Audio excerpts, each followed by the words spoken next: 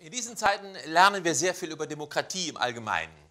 Nehmen Sie mal den arabischen Frühling zum Beispiel. Da waren ja erst alle ganz begeistert. Arabischer Frühling, schaut es euch an. Die Araber haben begriffen, Demokratie ist das Beste. Sie jagen die Diktatoren ins Meer. Herrliche Bilder. Als die ersten hinterher sprangen, um zu uns rüber zu schwimmen, ließ die Begeisterung schon etwas nach.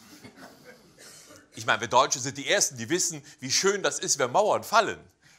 Aber wir haben ja auch erlebt, wenn da alles über die Trümmer geklettert kommt.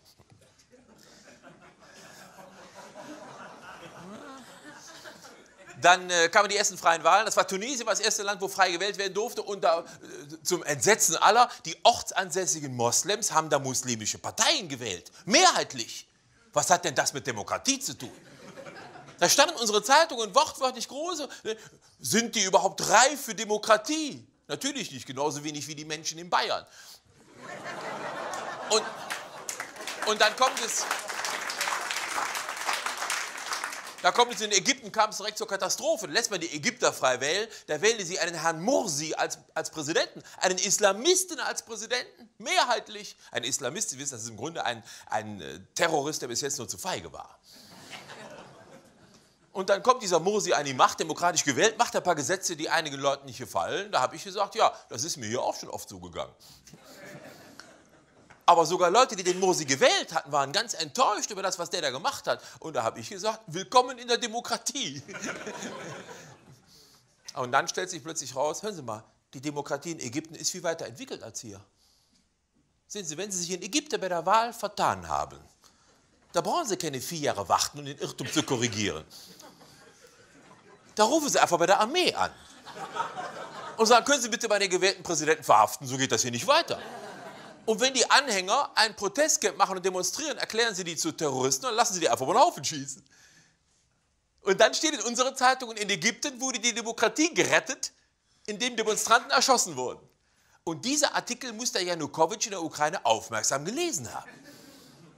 Aber als er das danach gemacht hat und die, die randalierenden Demonstranten in der Ukraine zu Terroristen erklärt hat und abknallen lassen, da, da war es dann wieder falsch.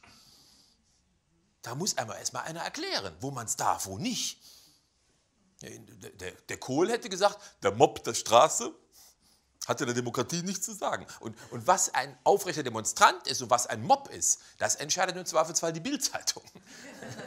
Man muss eben die Unterschiede kennen, meine Damen und Herren. Sehen Sie, wenn die USA den Irak plattbomben, anschließend einmarschieren, über 100.000 Menschen ermorden und dann sagen, ach, Entschuldigung, es gab die Atomwaffen gar nicht, wegen derer wir hier gekommen sind dann ist das was ganz anderes, als wenn der Putin auf der Krim ein Referendum abhalten lässt, wo die Menschen sich frei entscheiden können, von wem sie unterdrückt werden wollen. Das eine,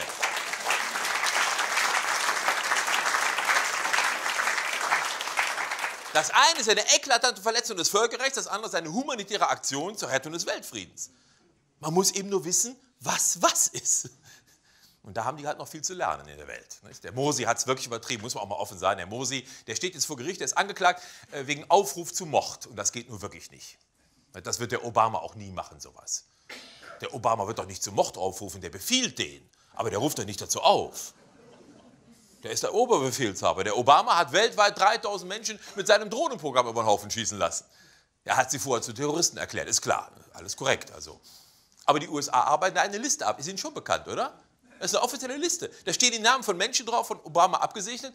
Die Welt wird über den Haufen geschossen werden dürfen. Ohne Anklage, ohne Rechtfertigungsmöglichkeit, nicht mal kurzer Prozess. Und wenn sie dumm daneben stehen, dann sind sie ein Kollateralschaden. Was haben sie auch so schlechten Umgang? Sie können die Liste ja einsehen.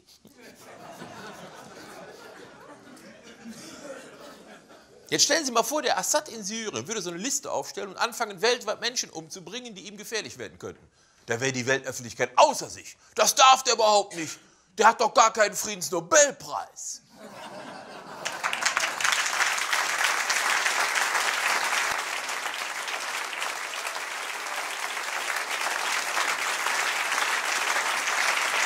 Vielen Dank. Danke sehr. Im Laufe des Abends werden Sie merken, dass dieses Jahr eine ganze Reihe von Preisträgern aus der Schweiz und Preisträgerinnen aus der Schweiz dabei sind. Und da muss ich mal dazu sagen, äh, das ist natürlich purer Zufall, denn sowas kann man ja nicht steuern. Ein bisschen, äh, ein bisschen muss die Schweiz allerdings unterstützt werden in diesen schweren Zeiten, das sehe ich auch so. Weil die, Schweiz ist schwer unter Druck. Äh, das Schweizer Bankgeheimnis ist inzwischen fast so löchrig wie der Käse, den sie herstellen. Und die, eine Schweizer Großbank muss jetzt sogar Strafe zahlen in Deutschland wegen Beihilfe zur Steuerhinterziehung. Das ist ganz gruselig. Alte Freunde der Schweiz wie Alice Schwarzer und Uli Hoeneß haben dem Land den Rücken gekehrt. Und, äh, das hätte mir vor ein paar Jahren auch keiner geglaubt, dass diese Kampfemanze und der Obermacho mal in einem Boot sitzen würden, oder? Alice Schwarzer.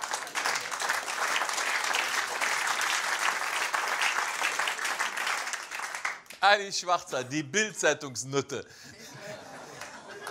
die gegen Prostitution kämpft, großartig. Und Uli Hoeneß, der Mann, dem immer schon Wurst war, was alle anderen gesagt haben. Und weil die Schweiz jetzt so schlechte Erfahrungen gemacht hat mit diesen zum Teil kriminellen Zuwanderern, wollen sie jetzt unter sich bleiben. Und die Regeln für den Zuzug von Ausländern sollen jetzt verschärft werden. Das kann ich sehr gut verstehen. Gleichzeitig sind jetzt gerade die Regeln für den Waffenexport in der Schweiz gelockert worden. Das könnte ich auch gut verstehen, wenn ich Waffenhändler wäre. Ja, also die Schweiz darf, es ist wirklich wahr, in Zukunft auch Waffen in Länder exportieren, die sich nicht ganz so scharf an Menschenrechte halten, wie zum Beispiel USA oder Israel.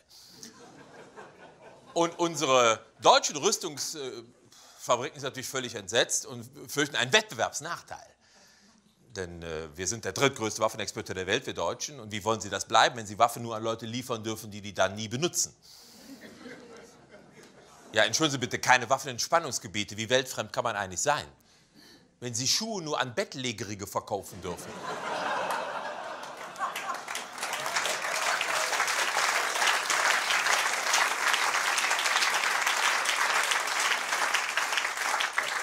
Das sind ja auch Arbeitsplätze bei uns, das darf man auch nicht vergessen. Tausende von glücklichen Familien leben davon, dass wir äh, Rüstung exportieren. Und äh, sehen Sie es doch mal so, jeder Afrikaner, der im Bürgerkrieg in Afrika mit einer deutschen Waffe über den Haufen geschossen wird, den müssen wir schon nicht vor Lampedusa aus dem Wasser fischen. Sie müssen auch mal die größeren Zusammenhänge sehen. Unsere Politiker denken sich da schon was bei. Und wir liefern nicht nur Waffen. Das wissen die wenigsten. Wir liefern auch Prothesen. Deutschland ist einer der Top-Anbieter von Prothesen. Weltweit, das sind doch Systemangebote, die wir da machen.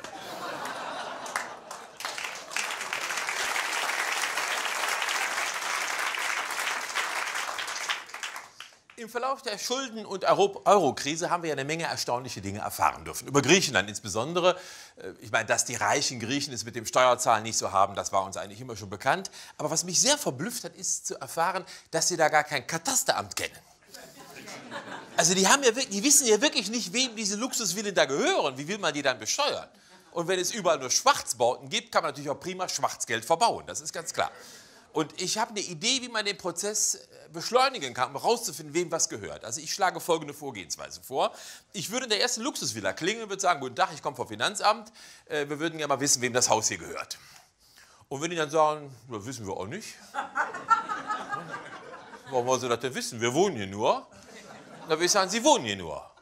Äh, Sie sind nicht der Besitzer, das heißt, Sie sind Mieter. Dann müssen Sie doch einen Mietvertrag haben. Sie müssen doch den Besitzer kennen, wenn Sie hier wohnen. Wenn die dann sagen, nö, wir wohnen hier nur. Dann würde ich sagen, Sie sind nicht Besitzer, Sie sind nicht Mieter, da kommen Sie mal raus. Dann sind Sie Hausbesetzer. Dann sind Sie jetzt verhaftet und dann lasse ich einen Bulldozer kommen und renaturiere das herrenlose Gelände. Das ist wunderbar für die Umwelt und schafft schon mal Arbeitsplätze im Bulldozerbereich. Und während die Jungs am Arbeiten sind, klingel ich über der Nachbarvilla. Guten Tag. Wir kommen vom Finanzamt, wir führen hier Umstrukturierungsmaßnahmen durch, wie Sie vielleicht sehen. Sie müssen den Menschen beweisen, dass Sie das ernst meinen, sonst hat das alles gar keinen Zweck. Ich wette mit Ihnen, wenn Sie zwei, drei Villen abgerissen haben, ab der vierten Villa meldet sich überall ein Besitzer. Das ist mein Haus. Was wollen Sie eigentlich?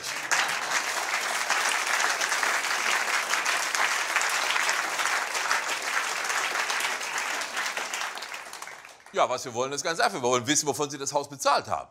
Sehen Sie, wir haben ja Ihre Steuerunterlagen, die Sie eingereicht haben. Sie haben die letzten 15 Jahre nie mehr als 15.000 Euro zu versteuerndes Einkommen angegeben. Das Haus hat doch viel mehr gekostet. Wovon haben Sie das denn bezahlt?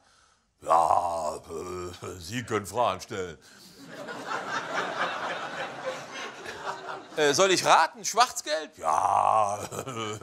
Jetzt hören Sie da mit dem Getue auf. Wir sind doch selber Griechen. Wir wissen doch, was hier gelaufen ist. Das ist ja auch nicht weiter schlimm. Das war ja so. Das ist halt unsere Kultur gewesen. Nur der Spaß ist jetzt vorbei. Die Party ist zu Ende. Die kleinen Leute mussten die Renten gekürzt kriegen, die Löhne mussten gekürzt werden, Leute wurden entlassen und sie müssen jetzt ihre Steuern nachzahlen. Das ist jetzt einfach so. Sie zahlen zehn Jahre rückwärts ihre Steuern nach und alle sind zufrieden. Ja, aber mein ganzes Geld ist doch in der Schweiz. Ja, da holen Sie das Geld jetzt mal zurück. Ich würde mich beeilen. In zwei Tagen kommt der Bulldozer. Mal gucken, wer schneller ist. Sie müssen das ein bisschen sportlich organisieren. Sie können das auch ans Fernsehen verkaufen. Eine neue Sendereihe. Wetten, dass Sie Ihre Steuern zahlen. Hm? Bei den Luxusjachten ist die Sache noch viel einfacher. Da brauche ich nicht mal einen Bulldozer. Ich gehe auf die erste Luxusjacht und sage, wem gehört das hier? Und wenn sich keiner meldet, dann mache ich da drei Löcher rein, blub, blub, blub, blub, blub, weg ist das Ding. Und wenn Sie zwei, drei Schiffe versenkt haben, kommt wieder einer angelaufen. Das da ist mein Schiff, lassen Sie die Finger davon. Schönes Schiff. Ja, das ist mein ganzer Stolz. Ja, wovon haben Sie das denn bezahlt? Ja. ja, hören Sie mit dem Getue auf, wir wissen ja Bescheid. Schwarzgeld ist kein Problem. Wir wollen ja kein moralisch verurteilen. Sie werden auch nicht bestraft. Sie müssen nur zehn Jahre die Steuern nachzahlen. Ja, wovon soll ich das denn tun? Mein ganzes Geld steckt doch in dem Schiff. Ja, dann verkaufen Sie jetzt das Schiff und davon zahlen Sie Ihre Steuern nach. Ja, da hätten Sie das ja gleich versenken können. Jetzt beginnst du zu begreifen, mein Freund.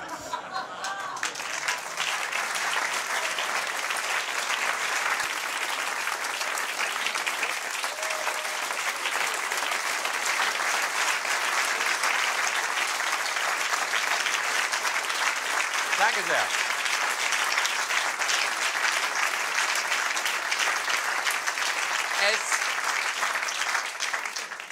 Es, gab im letzten Jahr in Deutschland zwei richtig große Skandale. Das eine war Pferdefleisch in der Lasagne und das andere war der Abhörskandal der NSA.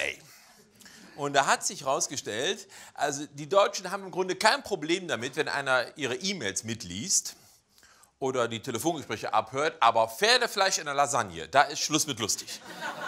Da ist eine Schmerzgrenze erreicht, dann kann der Deutsche sich richtig aufregen. Da war, war kurz vorm Aufstand. Also ich glaube, wenn sich da rausgestellt hätte, dass da die Amis hintergesteckt hätten, da wären wir einmarschiert. Ja. Aber NSA, da haben die Deutschen kein Problem mit. Das war doch Wahnsinn. Zwei Drittel aller Deutschen sagen, sie haben, fühlen sich ja nicht bedroht, sie haben ja kein Problem mit der NSA. Ich glaube, das liegt ja in dieser christlichen Grundhaltung in diesem Land. Das ist das christliche Abendland. Die Menschen hier sind das gewohnt, dass da einer oben ist, der alles mitsieht und alles aufschreibt. Ich fand das als Kind schon immer ziemlich pervers. Die Vorstellung, dass da einer ist, der alles sieht, was ich mache. Auch wenn ich allein am Klo bin oder so. Fand ich das nicht schön. Als sie mir dann gesagt haben, dass Oma auch noch auf der Wolke sitzt und immer auf mich aufpasst, fand ich auch nicht beruhigend, ehrlich gesagt. Also. Aber so wachsen die Kinder hier auf. Im christlichen Abendland glauben die Kinder, einmal im Jahr kommt der Nikolaus, der hat ein großes Buch, da steht alles drin, was sie gemacht haben. Auch das, was vorher nicht bemerkt worden ist. Und dann sagt der Nikolaus, Evelyn Maria, die E-Mail hätte sie besser nicht geschrieben. NSA heißt, Nikolaus sieht alles. Aber es werden ja nur die Bösen bestraft, wie bei der NSA, beim Nikolaus auch. Und fürs Bestrafen hat der Nikolaus den Knecht Rupprecht dabei. Und das fand ich auch immer schon seltsam. Ne? Wie pervers muss man sein, um sich so eine Figur auszudenken? Ein Mann, der mit einer Rute kommt, um Kinder zu züchtigen. In Holland äh, heißt der Knecht Ruprecht Swarte Piet. Da war jetzt im Dezember eine Riesendiskussion in Holland. Ja, die haben sich aufgeregt, nicht darüber, dass da einer mit einer Rute kommt und Kinder züchtigt, sondern dass es ein farbiger ist. Das wäre Rassismus. In den USA heißt der Swarte Piet Obama. Auch Black Bush genannt. Dessen, dessen Route ist eine Drohne. Sehen Sie.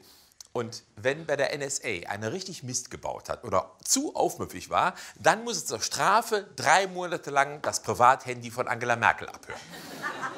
Das ist die Höchststrafe. Danach bauen Sie nie wieder Mist, meine Damen und Herren. Ich verspreche Sie. Wir, meine Damen und Herren, das war sie, die Preisverleihung 2014 aus dem Mainzer Unterhaus zum Deutschen Kleinkunstpreis. Ausgezeichnet